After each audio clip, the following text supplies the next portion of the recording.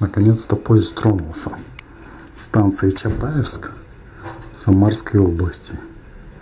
Ну, это последняя станция перед Самарой, где поезд останавливается, да?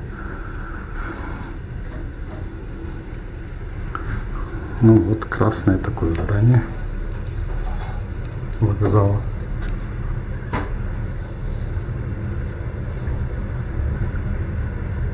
Нем написано Чапаевск название.